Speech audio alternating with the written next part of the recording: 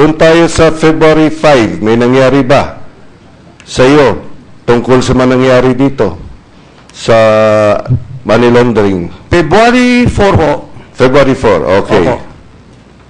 Lumating po si Mr. Gao, sabi niya, yung mag invest sila sa Pilipinas kasi hirap ng kasino sa Macau at isasara nila yung kumpanya para madala mag-invest dito sa junket sa Manila. So sabi ko, sige, sino ba to? Sabi niya, matagal na to kaibigan, si Ding. Si Mr. Ding po. Yung sinasabi niya po, siya po yung nag-receive ng 1.3 million 650. Mr. Ding, sino si Mr. Ding? Ding Sisi. Ding, Ding Sisi. Shishi. Yung sinasabi po nung Anong nationality ni Ding Shishi? ah, Macau po. Macau. Opo. Okay. Sige, tuloy mo para ma- matapos mo lang lahat ng gusto mo sabihin, ikwento mo lahat, and then we will ask questions. Sige, tuloy. So, sabi ko, sino ba to? Sabi niya, sigurado mag invest dito. O sige, sabi ko, tingnan natin kung sabi niya, may papasok sila malaki pera. Eh sabi ko, tingnan natin, pag may pera, lumating, yun ang kasinuro sa amin eh. Pag may, may pera po, yun ang totoong salita. Yung mga sabi-sabi lang, hindi ko kami naniniwala dun eh.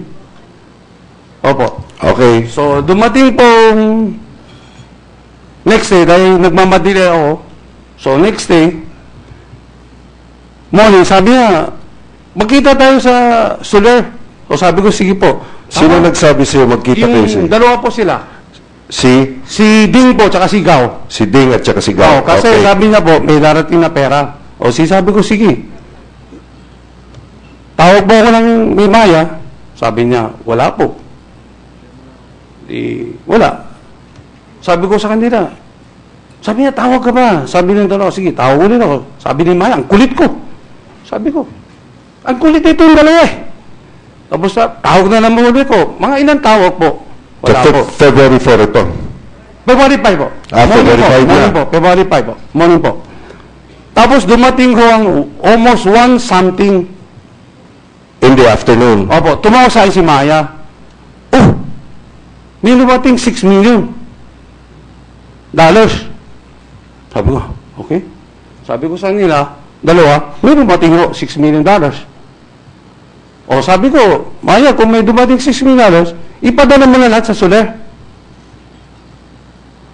Sabi niya, sige. Tapos, tumawag ulit siya. Oh, may dumating pa. 25. O, di, sige, padala mo kung pwede. Padala mo sa Soler. So, oh, tumawag ulit. Oh, may 30 pa. May 20 pa.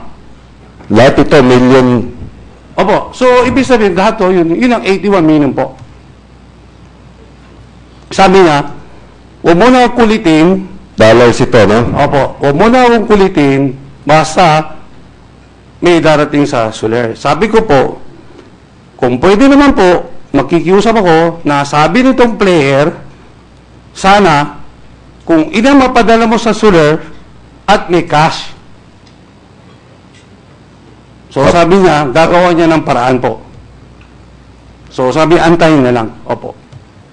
Okay. Tuloy pa. Ano pa nangyari? Ah, dumating mo ng mga 6.30 6.30 ng 6 to 6.30 ng gabi, sabi of sa akin February ng- 5. 6.30 ng gabi sa February 5 ito. Opo. Okay. Sabi po sa akin ng Sule, o boss, may dumating na doon sa player mo kay Ting Sisi. Sabi ko, paano mo? Sabi niya, film ang nagpadala. Sino po? Film. Phil Ren. Ang Okay. money changer. Sabi ko, sino yun? Tapos, dumating po si Mr. Concon po. Sino si Mr. Concon? Concon Bautista po. Ayun, Concon Bautista, ikaw yun. Okay. Dumating po siya. Sabi What- niya, Anong oras itong dumating? magse-7 siguro po. Magse-7 ng gabi na. 6:30 ganun po. Sa Soler. Opo. Okay. Sabi niya, napakiusapan siya ni Maya na tulungan. Sabi niya, hindi dapat ako makialam dyan. Si Maya nga kulit na pakiusapan siya. So sabi ko, thank you po. So sabi ni Konkon, ah yung pinaproduce ni Maya na pera, na produce siya 80 million pesos po. Dala niya po. 1.8 o 8.0? 80 million pesos po. 80 million pesos. Opo. Okay. Dala Dala niya. niya po. Ng tao niya. Cash, Tap- cash dala niya. Okay. Tapos sabi niya, ah, yung kakulangan na 20 million dadali ni Maya. Okay. 20 million pesos po. So, dumating si Maya po, Mga ano oras dumating si Maya? Yung base po sa record po ng Sule, yung sasakyan po, ah, binali po is 757.35 seconds. Ito po yung sa Sule po. Sasakyan po ni Maya po. Ayun. So may CCTV snapshot. Opo, meron pa po iba. Okay. So 7.56, halos mag 8 o'clock na yun. Opo, opo. Hindi, Okay. binali ho. Ibig sabihin, mas maaga ako siya dumating kasi kinuha pa to eh. Ah, kinuha. Okay, okay. Bali ho, pagbaba ho. Okay. Sige.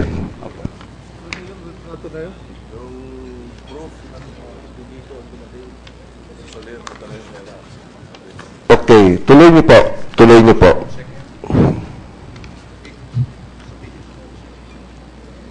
Tapos po, sabi ho ni Konkon po, ah itong 100 million, dapat may recipient.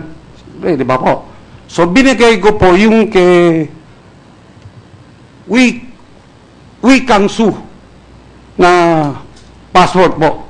Yung Wei Kangsu na sinasabi niyo, Teka, sabi mo 100 million. Opo, in bakit, pesos po. bakit naging 100 na? di ba 80 po plus 20 po? 80 million plus 20 million. Sino nagdala ng 20? Si Maya po. Pinapaklaro ko lang. So, okay. Cash yun, cash yun. Mr. Kim? Cash po. Okay.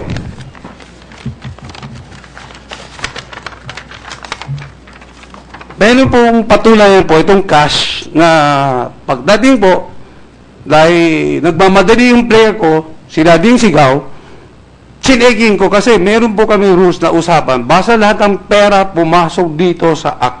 Ang usapan nito, lahat lalaroin sa casino. Kasi ang casino po kami, may meron kami gentleman agreement eh. So ito, diniposit ko po, may meron pong picture na February 5, 807 inakit ko po. Sa isang junket po. 100 million po. At pwede po i-check sa sulit. Okay, you're showing us a picture. A Oh. picture of Tinanggap po yung 100 million. na Patunayan. tinanggap yung 100 million s- sa Soler. Opo. Okay. Yung picture na yan galing sa Soler din. Yun yung pinakita mo, galing sa Soler yan. Mahirap po sabihin, no? Pero ito, Hindi, saan patunayan. kinuha yun? Pati oras po. May oras po eh. Ah, okay, okay. May date po. February 5 po. Ah, okay. Sige, tuloy mo. Sinong kumuha ng picture? Ako po. Ikaw? Opo. Marunong ka talaga, no? Sige, tuloy niyo po. Tuloy niyo po. Opo.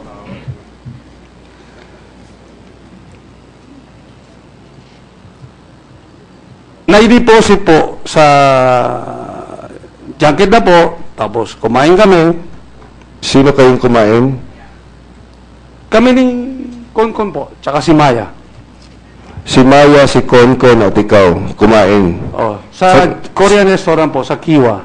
Kiwa. Opo. Korean restaurant sa Soler din yan? Opo, opo. Okay.